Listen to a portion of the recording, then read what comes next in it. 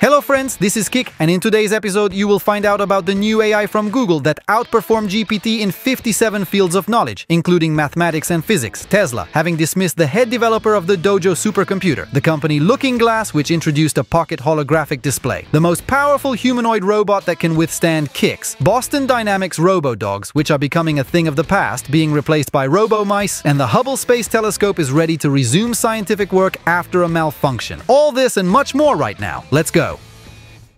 Today's episode starts with the new AI from Google, which, as claimed by the colorful company itself, has beaten GPT in as many as 57 areas of knowledge. A new era of AI has begun, and it is the era of Gemini, announced Google CEO Sundar Pichai, presenting the large language model Gemini or Twins. According to Pichai and Demis Hassabis, head of Google's DeepMind division, this represents a huge leap forward that will affect all of the company's products without exception. A year ago, OpenAI released ChatGPT, which immediately became a hit in the AI field. Now Google, which has been been calling itself a pioneer in this technology for over 10 years and was evidently caught off guard by the success of GPT, has struck back. Google's team managed to create the first model that achieved 90% in the MMLU test, a massive multitask language understanding test surpassing experts in various tasks including mathematics, physics, history, law, medicine, and ethics. The model was designed from the outset to be multimodal, meaning it was trained not only on text but also on audio and video data. Where other models think of an image in words, Gemini notices nuances inherent to the medium. In the future, the model's sensory perception will include touch and tactile feedback, Hassabis promised, discussing the possibilities that open up in robotics with the advent of Gemini. In addition, Gemini can freely program in Python, Java, C++,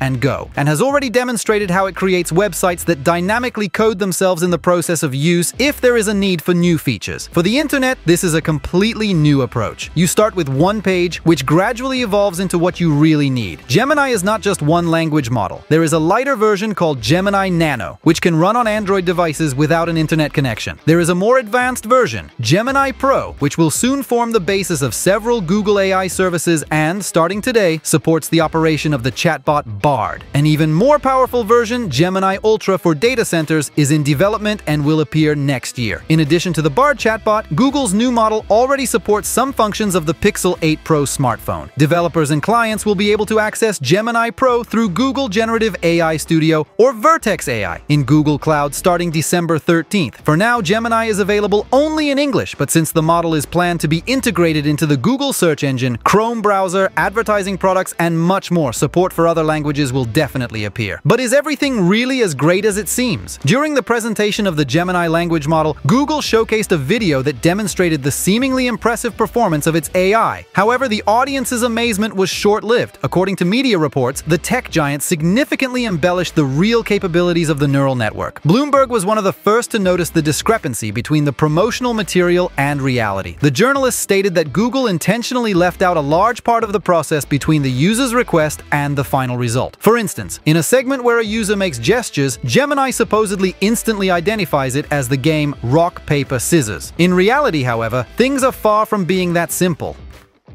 And here's the news about Tesla. The company has fired the head of the Dojo supercomputer development team. He might have been dismissed due to issues with the next generation of the supercomputer. Tesla uses Dojo to train neural networks essential for autonomous driving. Sources say that Ganesh Venkataramanan, the head of Tesla's Dojo hardware, has left the company. Ganesh was hired at Tesla when Elon Musk wanted to form a team for chip manufacturing to support the company's efforts in creating self-driving cars. He was involved in developing Tesla's self-driving chips and recently was responsible for the hardware of the Dojo supercomputer. Officially, Ganesh held the position of Senior Director of Autopilot Hardware. Tesla uses the Dojo supercomputer to accelerate its program of training neural networks for autonomous driving. The first Dojo cluster was launched this summer after a significant delay. Meanwhile, we would like to tell you about the startup Looking Glass Factory, headquartered in the USA and Hong Kong, which specializes in developing displays capable of conveying a three-dimensional image effect without special glasses or headsets. In the past, the startup had already showcased desktop screens ranging from 7.9 to 65 inches, and now they have introduced their most affordable and portable model, Looking Glass Go for $300. The new model from Looking Glass combines two major technological trends, three-dimensional displays and generative AI capable of providing content content for holographic devices. Like its previous models, the Pro Workstation and the Looking Glass 65 screen, the new Go allows users to immerse themselves in a three-dimensional image without the need for special glasses or headsets. The screen with a 6-inch diagonal is 10 times thinner than previous Looking Glass models and small enough to fit in a pocket or purse. However, it still needs to be connected to a battery or power supply, as it does not have its own battery. Plus, it's the first model with Wi-Fi for downloading holograms from the cloud. The expected retail price is $300, but on Kickstarter, it's possible to purchase the Go for $119. The package includes an AI-based software bundle that turns regular two-dimensional photos into three-dimensional holograms, envisioning dozens of perspectives of the same photograph. The device can display 3D images downloaded from the cloud, holographic art, and scenes scanned using Luma AI. Through the Liteforms app and ChatGPT, it's possible to generate holograms based on text requests as well as create a digital assistant with a voice and character traits. No special skills are required to work with the programs, but 3D artists and coders can use plugins and libraries from Unity, Unreal, Blender, and WebXR to create applications with holographic images. Moving on, we've already told you about the Chinese company Unitree, which specializes in the development of robot dogs and humanoid robots similar to Boston Dynamics. Chinese engineers have managed to create the most powerful humanoid robot. The new model is called H1. A video was released on the company's YouTube channel, where Unitree engineers demonstrate the phenomenal stability of H1. The robot can navigate through cluttered roads, carry a 30 kilon load, and it doesn't fall even if kicked with full force. In the video, the creators took H1 by the hand and pushed it back and forth while the robot stood on an uneven surface, yet it still managed to maintain its balance. The Unitree humanoid is 1.8 meters tall and weighs 100 kilos. Its autonomy is provided by a built-in battery with a capacity of 0.863 kWh. The leg joints have 5 degrees of freedom and the arm joints have 4. There is a system on the waist consisting of cameras and lidars. The walking speed can reach up to 5.6 km h. The H1 robot will be available for sale in 2024, with pre-orders already open and an estimated price of $85,000.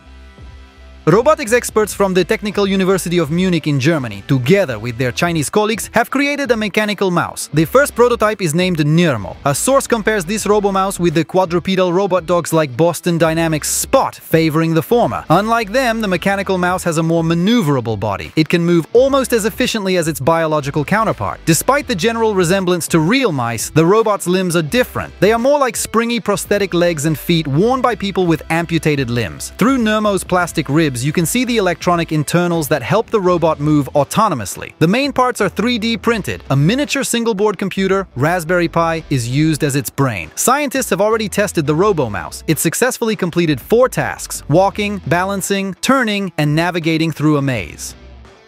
And what would Kik be without space? NASA announced that on December 8, the Hubble Space Telescope resumed scientific operations. The observatory had been in a service observation mode since the end of November following a series of gyroscope failures. Without these devices, precise telescope aiming was impossible. After analyzing the situation, NASA's team found a solution, and today the telescope is expected to return to service. The Hubble's orientation system includes six gyroscopes. On April 24, 2024, the old timer will turn 34 years old. The last replacement of all six six was carried out in 2009, when the shuttles were still flying. Today, this option is not available. The good news is that the telescope can operate based on the readings of just one gyroscope. And for the last few years, three of them have been operational. A failure in any of the working telescopes sends the observatory into safe mode. This happened for the first time in the last year on November 19th. The next day, NASA engineers returned the telescope to operation, but a new failure again automatically put the observatory into standby mode after 24 hours. Another recovery and failure occurred on November 23rd. After this, specialists turned off the telescope for a long period and began an in-depth analysis of the problem. The telescope is supposed to return to scientific work today with all three gyroscopes recalibrated. None of them were lost, which allows the observatory to retain a margin of safety in case of new malfunctions. That's all for today, thank you for watching. Don't forget to hit the like button and subscribe to our channel to not miss a fresh portion of handpicked news. Goodbye!